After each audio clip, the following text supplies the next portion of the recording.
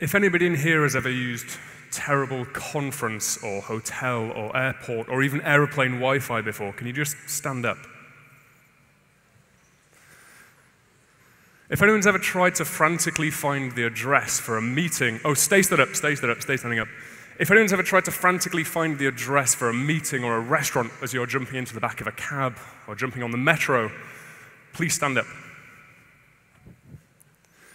Uh, if you or anybody you know has got a pay as you go data plan where you pay for your mobile data as you use it, just stand up. If you've ever lost internet connection at your home or office before and had to tether your mobile phone for a few days, please stand up. Right, and if any of you have ever been abroad and had a super expensive or very restrictive data roaming plan where using your phone abroad was very, very expensive, please also stand up. Okay, so anybody who is left sitting down, just take a moment and look around you and realize that you are by far the exception rather than the rule. Nearly every single person in this room today has suffered a degraded performance experience that was not their fault. My name's Harry, and I'm here to talk about why fast matters. Right, yeah, you can all sit down now, thank you. Right, that's the 90 second version of this talk. Uh, for the next sort of 40 minutes, we're going to look at why performance is important, uh, who it's important for, and then some strategies, some tips, uh, some workflows to actually start building faster web applications. Uh, I'm from a place called Leeds in the north of England, and I'm a consultant front end developer. This means I help uh, lots of different clients, clients like these, making much larger, much more scalable, and very importantly, much faster websites. One of these clients on here is particularly interesting, Trainline. Uh, the Trainline uh, came up with some research recently, and they found that if they reduced latency by just 0.3 seconds, customers would spend an extra 8.1 million pounds every year. Over 8 million pounds for the sake of being 0.3 seconds faster. Now, I'm actually helping the Trainline with this body of work, and it's absolutely fascinating. And the good news is, it's actually kind of easy to find 0.3 seconds somewhere, right? It's not, uh, it's not like completely impossible. You just need a bit of diligence, a bit of knowledge. And that's going to equate to about 8 million pounds for Trainline. Uh, Netflix, who unfortunately isn't a client of mine, if anyone from Netflix is watching, send me an email. Uh, Netflix saw a 43% decrease in their bandwidth bill after turning on gzip. Now, my first question is why was gzip turned off in the first place, right? Who did? Who did that? They saved 43% of their bandwidth bill just by enabling one performance related feature. I hope whoever turned gzip on got a handsome pay rise that day because imagine saving 43% of your bandwidth bill at Netflix's scale. Uh, GQ, the fashion magazine, the lifestyle magazine, they cut load times by an impressive 80%. And in return, they saw an 80% increase in traffic. And of that increased traffic, they saw time on site increase by 32%. So even if you're not an e commerce platform, even if your site does not directly sell to customers, performance leaves users happier and also increases engagement. And if you're running adverts, sorry to mention it, but if you are running adverts, increasing ad impressions by a third is going to equal quite a lot of money. Now, each of these statistics was grabbed from a site called WPOstats.com, Web Performance Optimization Stats. This is a website run by uh, Tim Kadlec, who is also going to be speaking for us today, and um, Tammy Everts, who's a performance engineer as well. This site is full of case studies, examples, reports, and write ups for why performance helps businesses. The reason I chose those three particular case studies is that the first one proved that performance will make us more money. Performance will make your business more money. Two, it will probably save your business money. In the case of Netflix, 43%. And the third one showed us that performance just makes users happier. I don't think anybody in the world enjoys using a slow website. But a lot of these are financial. A lot of these are sort of financial reasons to promote uh, performance, financial reasons to make websites fast. But I want to talk about a few things that aren't to do with money. These are more to do with ethics and morals in web performance. I'm going to share three stories with you. Uh, what's quite interesting about these three stories is they all happened directly to me, and they all happened this year. So I'm not talking about the internet five years ago, I'm talking about the internet right now in 2017. Uh, the first thing, I um, sent an email to a friend, and it was quite an important email. And he didn't reply to me, and I was getting stressed because I needed a reply. So I pestered him. I was like, hey, dude, did you get my email? And he said, oh, sorry, yeah, I, I got your email, but I was on holiday in Thailand, and the mobile internet in Thailand is so bad that even though I saw the notification, I couldn't actually open the email. It wasn't like a crazy, like, you know, 25 meg TIFF that someone had sent. It was just a normal email. The internet in Thailand wasn't good enough to open it. The second one, this one, uh, it's quite a long slide. I'm going to have to read something from my notes. But um, I got an email from someone asking me for some advice. He wanted some advice to do with web development. And this happens quite often. And I sent my reply, and it took him a long time to get back to me. And when he did respond, about two weeks later, he said, Hey, I'm sorry for the delayed reply. I'm on a bad connection. Now, me being a performance engineer, I just said to him, hey, don't apologize, but tell me everything you can about your bad connection. What do you mean by that? And he said, so I'm currently at my parents' place in Rajasthan, which is in India. Since my parents don't have a computer, they only consume internet through their smartphone. We rely on internet services by telecom providers, which in our town are still 2G. Some providers claim to be 3G, but I've never seen that happening. So right now, I've connected my laptop via a Wi-Fi hotspot uh, and opening Gmail in the basic HTML version takes 30 seconds to a minute. Most other sites, I actually prefer to use mobile Chrome rather than my laptop because that seems to work faster and consumes less data. Google also optimizes a lot for slow connections, which definitely helps. So a few interesting things here. The basic version of Gmail, I've used that maybe twice in my life. When I've been on a really bad connection, I've maybe used it twice. This person has to use it every day, and it still takes a minute to load the basic version of Gmail. The other interesting thing, when you go home, you've probably got a router in the corner of your, your room that gets you online. This guy's family don't have a router. They've got a commodity Android device plugged into the wall with a permanent 2G connection. That is their main entry point to the internet. It's very, very different to what we're used to. Third little story, and my favorite story, a Nepalese developer sent me a direct message on Twitter, again asking for some advice. Um, now, completely coincidentally, about a week beforehand, I'd been looking at my Google Analytics. Uh, we'll come back to Google Analytics in a second. Analytics had told me that Nepal was a problem region for me. My website was slow in Nepal. So I messaged this guy saying, hey, look, whilst I have your attention, does my website feel slow for you? My analytics says that it does. Is, is that true? His response was, no, I don't think so. I click through to your website and it loads in less than a minute. Think about that. If a website took a minute to load here in Europe, we'd assume the website was down. We would assume it was broken. We'd just go somewhere else. But to him, that was normal, right? Under a minute felt fast.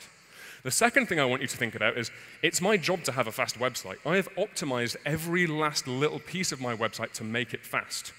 If you visit my website from Dublin or San Francisco, it will be fully rendered in under 1.7 uh, seconds, I think, right?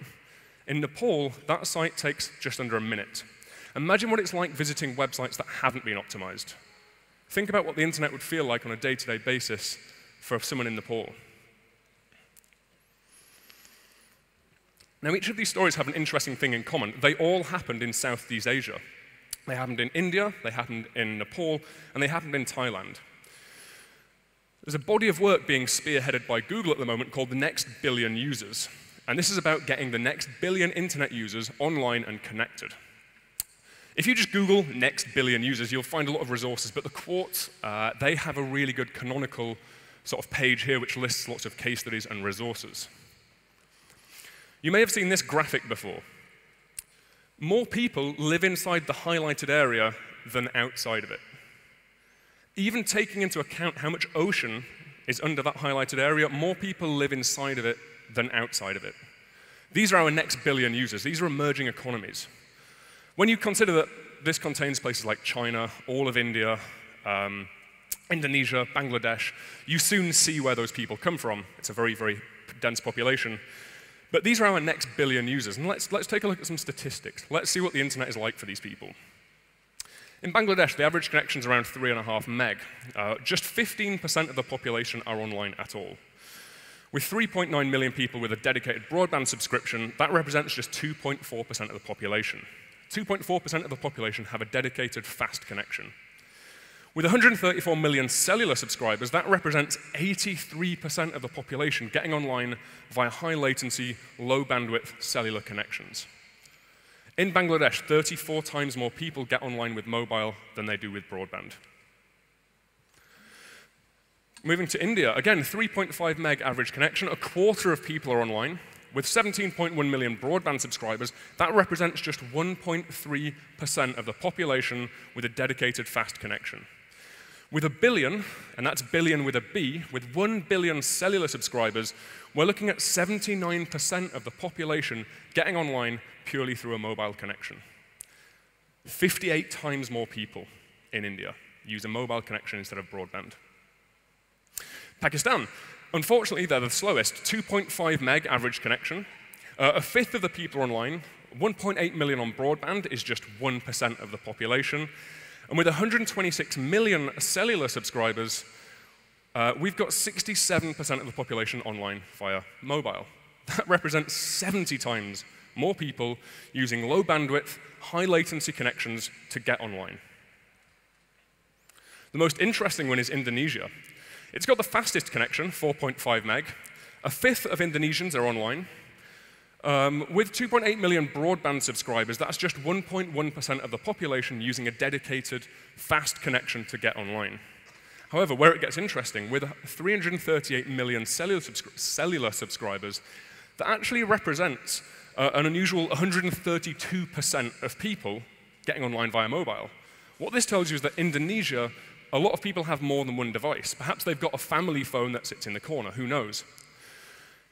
Southeast Asia is the fastest growing market in the world, the internet market in the world, and Indonesia is its fastest growing country, so maybe that explains why 121 times more people in Indonesia get online with a slow cellular connection instead of broadband. Aggregating this data, a 3.5 meg average connection, only a fifth of that region is online at all, the other four-fifths, the other 80% of people, that's our next billion users. Those are who we need to target. Uh, just 1.5% have fast internet. Only 1.5% of that reason, uh, region has a dedicated broadband subscription. A staggering 90% of that region can get online with a mobile connection. This truly is a mobile-first region. Compare that with the UK, where I'm from. 15 meg speeds, everybody's online. 92% of England is online. Um, over a third of people have broadband, and 125% of people have a cellular subscription. People have more than one device in England. I've got more than one device myself. Poland, where we are right now, 13 meg speeds. Two thirds of you are online, uh, a fifth of you are on broadband, and you've got a lot of devices. 150% of you are online, so a lot of you have more than one device. Anyway, that's a lot of numbers. What does this even tell us? It tells us a few things. It tells us that in the West, we build for a very different demographic. In the West, we are spoiled with low latency connections, uh, high bandwidth, affordable data plans. In the East, or in emerging markets, we've got a very, very different profile of user. Culturally, it's going to be very, very different, but it comes down to specific technological impact, right? We've got to optimize for high latency, low broadband, uh, sorry, low bandwidth connections very, very, very expensive data plans. Data is really cheap in the UK, comparably. Data is very cheap in the rest of Europe, comparably. So a lot of clients ask me, how fast is fast enough? Harry, how fast should we be? Um, I've got some bad news that there's, I don't know, I don't know. I can't tell you how fast you should be. I can't just give you a number to work with. What you can do is over time run tests and benchmarks and look at your competitors and work out how, roughly how fast you should be. But building up that bank of data takes a little while. So I always recommend starting with just be faster than your nearest competitor. Pretty much everyone can agree with this. Find out who your nearest competitor is, find out how, how fast they are, and just be that little bit faster. Being faster than a competitor is often a decider in whether people stay with a service or move elsewhere. I found a really good, useful, tiny little simple tool recently called DareBoost. DareBoost, you just put in one site and another site that is very similar, and it'll run some static analysis. It'll run some uh, comparisons and see which site is faster. It's a really simple overview of getting a good idea of how fast you are. Uh, I'm comparing my site to CSS Tricks right now, and I'm quite a lot faster than CSS Tricks. But what you have to remember is that Chris is running a very different website. It's actually, uh, his is more of a community, whereas mine is a personal site with quite a large blog. But this gives us a really good start. Dareboost.com, it tells us roughly how fast we are compared to a competitor. We can step it up a notch. We've actually got better tooling than that available to us. Um, SpeedCurve. We will look at SpeedCurve in more detail later, but this is my favorite performance tool. SpeedCurve's amazing. You sign up to SpeedCurve with your website, with your account, but you can also pass in competitors. And SpeedCurve will run automatic benchmarks against you and your competitors' websites. So here we can see that uh, the Huffington Post is quite a lot slower. The blue squiggle is quite a lot slower than the others. We can see that the New York Times and The Guardian have quite similar performance profiles. Uh, the Guardian is slightly faster, but we, what we can see here is that Huffington Post is definitely losing the race.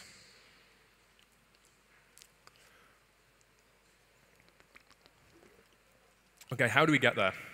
It's all well and good knowing these numbers and these facts and figures. How do we actually start building faster websites? Where do we look? Luckily, I've got three tips to share with you, and they're not really like small tips, they're quite big sort of philosophies. And I've already lied to you because there's four. Um, the zeroth step is just want a fast website. Right? Step zero is just try to build something fast. Building fast websites isn't particularly simple. It's not going to happen by accident, and it takes a concerted effort from you and your team to actually make this happen. So do not underestimate the importance of this step. Things get a lot easier if you actually try to make it happen. Uh, make sure the business, product owners, clients, customers, whoever, engineers, designers, make sure everybody is taking performance seriously, and you will find that everything gets a lot, lot simpler to achieve. This is the biggest culture shift. This is actually relatively difficult, right? This is a quite a difficult step, but if you can manage this, you will find that performance or making performant applications becomes much, much easier. You're not fighting against the tide, you're not arguing with designers about design features, you're not arguing with customers about what they want or clients. Once everybody starts actually trying to build a fast website, you'll see that it'll happen quite quickly.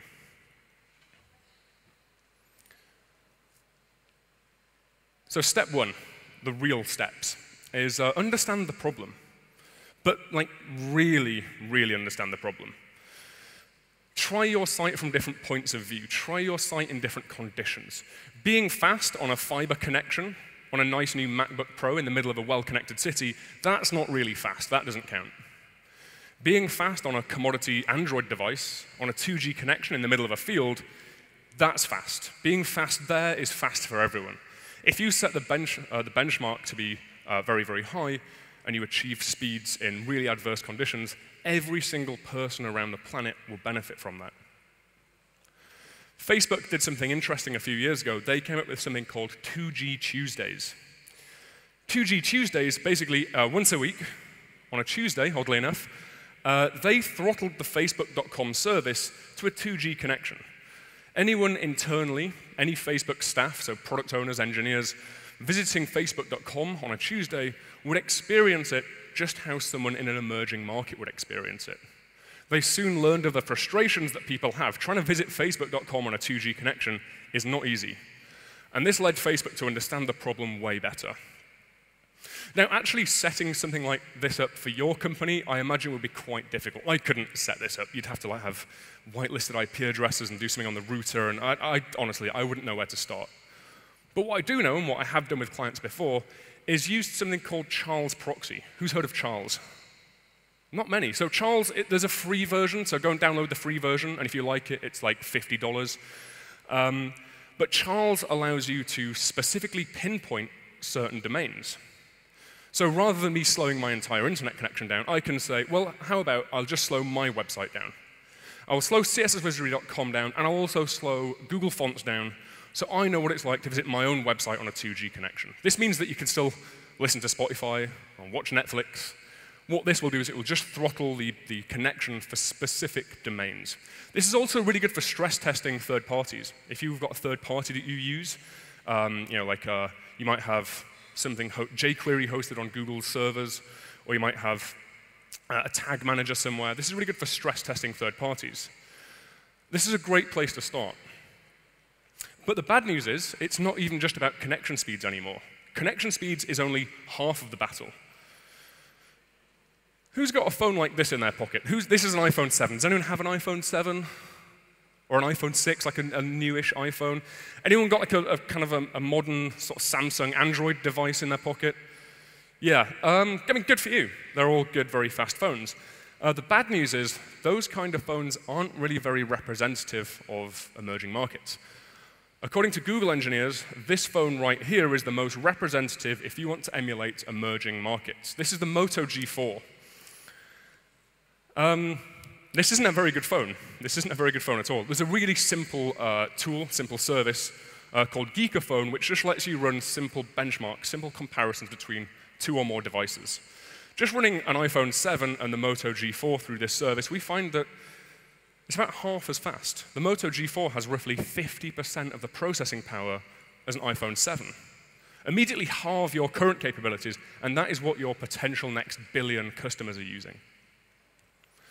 For the more data conscious among you, um, uh, phonearena.com is a, a, a much more complex tool, which runs way more in-depth benchmarks. At the top, we see the iPhone, and below it, we see the Moto G4, and bigger is better. What we can see here is that across nearly every single test, the iPhone is three to four times faster than the Moto G4. The device that your customers are using, your next billion users, is about a quarter as good as what you might have in your pocket. Um, in a bind, in the short term, we can just enable throttling in Google DevTools. I'm sure you've all seen Chrome's DevTools uh, throttling. We can spoof a 3G connection. Uh, we can spoof a five times slower CPU. And this is a good start. This isn't perfect, but this is a good start. So if you're not doing this at all, start doing this. If you want to take it a bit further, um, use Charles, right? Because Charles Proxy, the tool I just showed you, can actually simulate packet loss. So this slowdown on the network happens in the application layer, so it just artificially slows things down. Whereas with tools like Charles or Network Link Conditioner, you can actually spoof DNS delays. You could spoof packet loss. But this is a great start. Start here. However, having said that, there is no replacement for real devices. Testing on real devices makes all the difference. I've got a, um, a Nexus 5. Um, it's not a Moto G4, but it is, it's a, a, representative, like fairly, it's four years old now. Uh, and this phone is a lot, lot slower than my iPhone. This is my testing device. So I just kind of remote debug. Whenever I do audits for clients, or whenever I'm building applications or, or websites for clients, I always make sure I test on realistic conditions. One client I was doing an audit for, uh, this slide isn't very good quality, I'm afraid, because this wasn't actually meant, this screenshot wasn't meant to be in this presentation. this is meant to be in like a report for the client. I really hope they don't find it. Um, what I found was their mobile site that their engineers build on high-powered MacBook Pros in an office somewhere in Europe, their mobile site actually performed pretty badly on a mobile device. Fancy that. it works well on my new MacBook with a fiber connection. Why doesn't it work well on my phone? I found that their main app.js file, their main JavaScript bundle, took 1.78 seconds just to evaluate. Just to churn over that much JavaScript, the CPU in my Nexus phone, it took it nearly two seconds. And that's just one file. And that is nothing to do with network conditions. That's nothing to do with load times. This is completely divorced from load times. Even if my Nexus was hooked up to super fast Wi-Fi, it would still take nearly two seconds just to evaluate that one JavaScript file. And that happens on every page load. This CPU, this CPU like sort of degradation is really, really common in realistic devices. But because my client wasn't necessarily testing it on real devices, they didn't really know this was going on. So build up an idea of realistic conditions. Try and learn what a realistic connection feels like. Try and learn what realistic latency feels like. Try and learn what realistic processing power feels like. And you can even go as far as to working out just how much data might cost in a different country. You can find out how realistic the cost of visiting your website might be.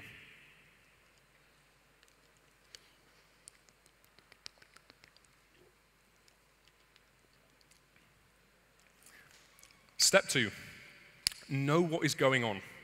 Understand everything that happens under the hood. Learn as much as you can about the way your application functions, how it's put together, and who is in charge of what. This is unfortunately the hardest thing in this slide deck. Finding out what's going on is really, really quite difficult. It requires a lot of meetings, a lot of communication, a lot of talking to people, but actually finding out what your application is doing across the entire spectrum is a surefire way to make your website faster. If you don't know what your website is actually doing, you don't stand a chance at making it any faster. Who lives in a world like this, where you look at your production site and all of a sudden it's like, well, where's this coming from? What does this script do? Why are we including jQuery twice? Which team's in charge of this? Who's, does the analytics team use this? Do we even use this? Is this script here? I've never seen this used. Who experiences this like frequently? Okay, maybe half of us. A lot of organizations, especially when organizations, organizations get larger, a lot of different people are in charge of different parts of your application. Other people can add things quite easily. Tag managers, right? You put a tag manager on there, and that one tag manager might just be a small JavaScript file. But that one small JavaScript file allows a marketing person to put a thousand JavaScript files on your website. And that's where things start falling down, because we don't fully understand exactly what's happening in our application. There's also this really unfortunate Schrodinger effect. The actual act of measuring users, measuring for optimization, ironically, has an overhead that slows your website down. We'll look at a really good example of this shortly. So for this step, it's a little less technical. I've actually got some good technical tips, but this step is a little less technical. You need to start organizing meetings, chatting to people. Um, you know, go and just meet the head of analytics. Go and meet the head of data and insights. Go for a coffee. Ask them, what do you do? Like, what do you need? What, what information can we as engineers provide to you? Which tools do you use to do that? Okay, can I do an audit of this tool? Okay, it turns out this tool is very slow. Can we build a similar one, or can we use a different provider? It's not your marketing team's job to know about web performance, but it's your job to help them join the dots, understand or help them understand that whatever they do has a knock on effect that will affect the customer. There's a really great article from um, a company called Studio 107, and the article is called uh, Tags Gone Wild Managing Tag, man uh, Managing Tag Managers. The green area we can see here represents the website. This is what the user turned up for. This is what the user wants to see. The red is analytics and tracking and adverts and all that kind of crap that no user ever. This is why people have ad blockers, right? Because nobody turned up for this, yet we gave them it anyway. If we pull this out onto a more digestible slide, look at that. That's horrendous. But unfortunately, this is really, really common. We need to start understanding what's going on in here and understanding and knowing our liabilities. We often refer to things as assets. We should stop referring to them as assets and start referring to things as liabilities.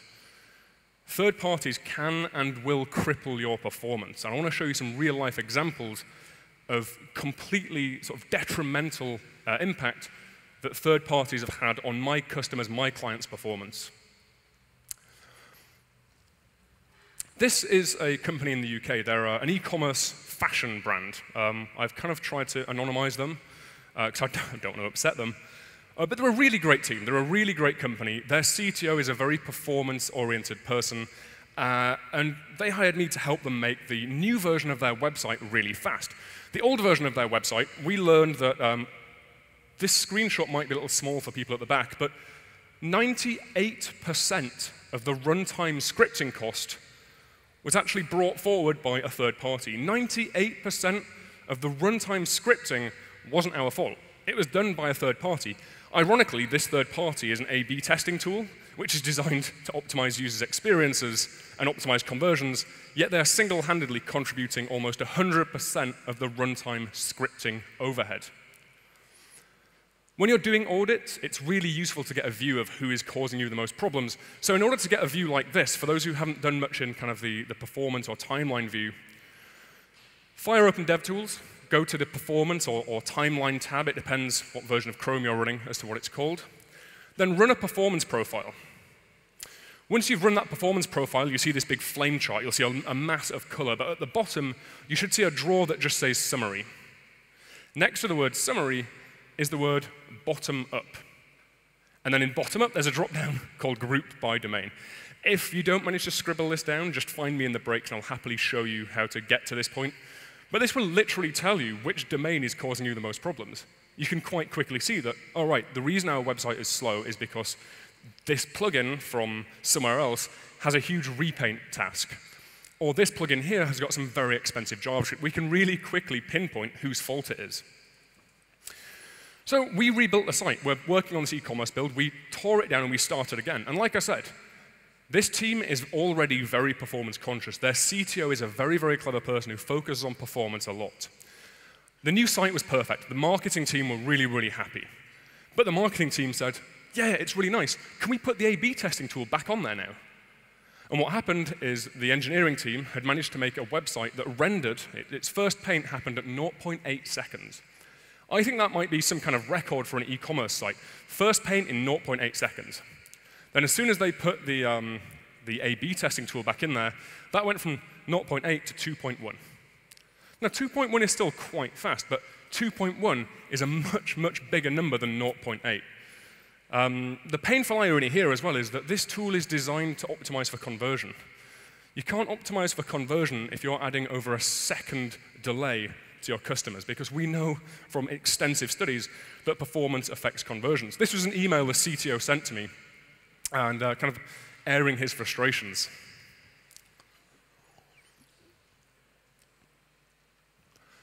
Identifying third parties. This is interesting. So how do we actually find who these third parties are? Have you ever looked at like a, a waterfall chart in either web page test or in Chrome, and you've got no idea what, right, I don't know what this JavaScript does. What does this do? What's this little GIF? Is that like a tracking GIF from this, or is it from the advertisers? Who's ever had that frustration? You look at a waterfall chart, and half of it you just don't know what it means. Well, luckily, Chrome introduced something recently. Again, this is quite hard to find, so please bear with me. But um, if you want to play the blame game a little more, if you want to find out exactly who's causing you problems, make sure you're running a version of uh, Chrome that has DevTools experiments enabled. So enable your DevTools experiments. Uh, once you've done that, when you go into the settings panel of DevTools, you should see on the left here uh, experiments. There's an experiments option.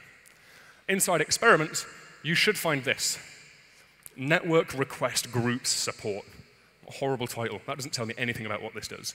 What this actually does, though, is it starts identifying third parties and it tells you, oh, this is a tracking script, this is a tag manager, this is an advertiser. So in order to actually utilize this, we've got another step, go and run a network, um, sort of uh, a network chart, right click on one of the uh, column titles, and just turn on product. Once we've turned on product, we see a column that looks like this. How nice is that? Now all of a sudden, DevTools tells me, oh, this is from Campaign Monitor. This is from DoubleClick. This is from so-and-so. This is a tracking script. This is a tag manager. What this does is it means that I can start blaming other people, right? How nice is that? Not my fault, it's this. So looking at this, I found, um, got a problem here. Something is taking over half a minute to connect, a 35 second TCP connection. And what you should hopefully see is the red line right at the very end. This is pushing back the load event. So this is blocking somehow. This is pushing back the load event to 36 seconds. And I go and look at what it is, and it's Rubicon project. And it turns out Rubicon is an advertiser. This, again, is why people turn ad block off. But at least we can now notice that, OK, the major delay on this page is Rubicon. Maybe we should give them a call. Maybe we should log a support ticket. Maybe we should find another advertiser. This tooling really helps you identify bottlenecks, especially in third parties, because third parties make you very vulnerable. External dependencies can take you completely offline. I want to show you another horror story that happened with a real client of mine. What happens in the most extreme cases? What happens when your third party has a complete outage? So this client of mine is using something called Adobe Tag Manager. Anybody here use Adobe Tag Manager or have a product that uses it? Okay, well, lucky you. That's good. If you are using Adobe Tag Manager and the worst case scenario happens, there's kind of bad news. Adobe Tag Manager is a, uh, a, render blocking, it's a completely blocking script. So it blocks downloads and it blocks DOM construction. So whenever the browser is downloading or trying to find that script, the browser can't do anything else. So if Adobe Tag Manager goes down, your load time goes up to about 80 seconds. This is the amount of time that Chrome will try and find something before giving up. This is basically a timeout.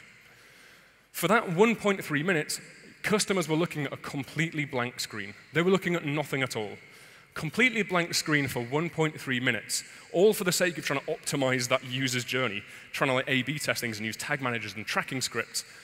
Look at the painful irony in that. We're trying to optimize for conversions whilst giving users a blank page for over a minute.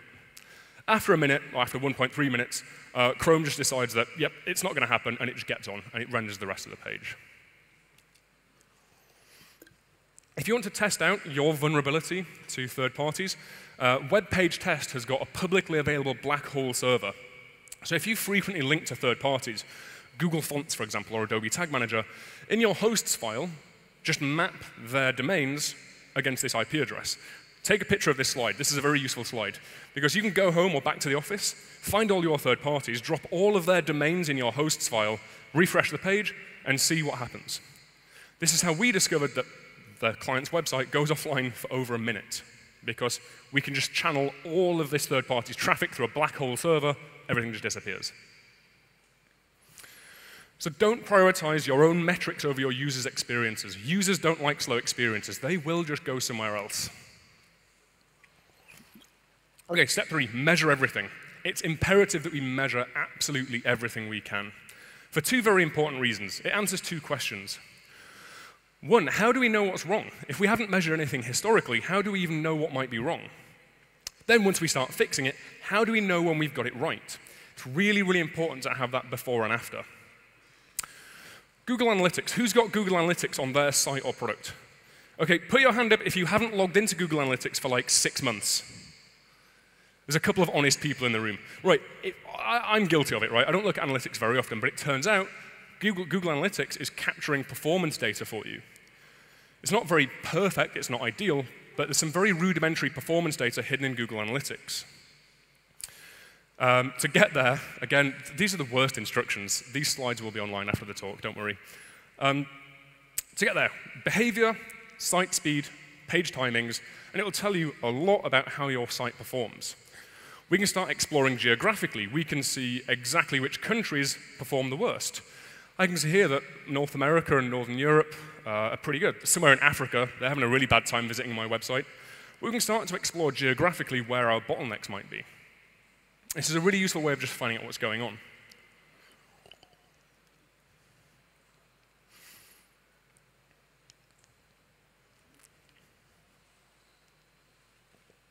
That GIF crashed my machine for a while.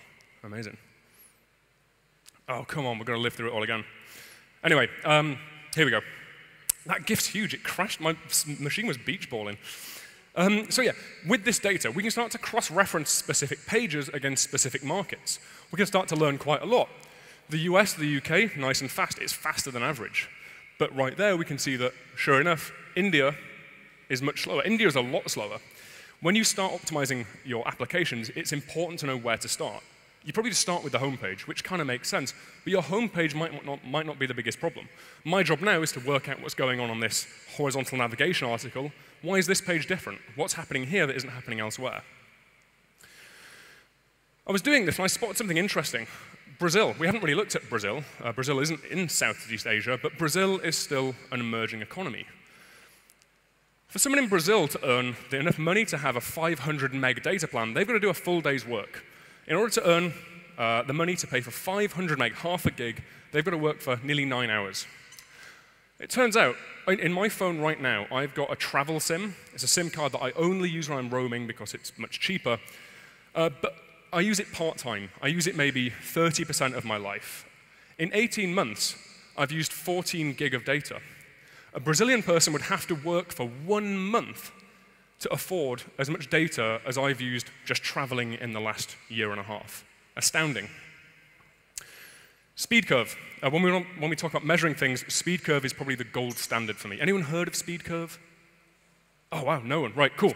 Um, this tool is, um, I'll warn you right now, it's addictive, right? It's really, really good. So I identified a problem. Brazil was a problem area for me, so I set up some automated tests. I'm going to start testing my site from Brazil. I then tried to fix something. I thought, well, the problem might be this, so that's what I'll try and fix. And sure enough, look at that. I managed to fix a problem. This is the importance of measuring before and after. If I didn't have the before, I wouldn't know Brazil needed fixing. If I didn't have the after, I wouldn't know if I've done my job. So automatically test your site from different locations worldwide. Um, you can run them uh, several times a day, uh, different geographical locations, different connection speeds. Really, really great tool. And my favorite thing about it is it's good for non-technical stakeholders. I don't, it doesn't matter if you've got like a PhD in computer science or you know nothing about tech, you can understand this graph. Something good happened that day. This is a great tool for putting in front of non-technical stakeholders, get it on a big screen, put it in the office, make sure everyone can see it, because we can easily see we're making good, positive progress here. Using this data, we set up budgets. Um, most people don't like the word budget, surprisingly enough, uh, so I just say it's just basically monitoring with a purpose. We're monitoring with a good reason. We can set budgets and tolerances and try and stay within those limits. Uh, I run SpeedCurve against my website.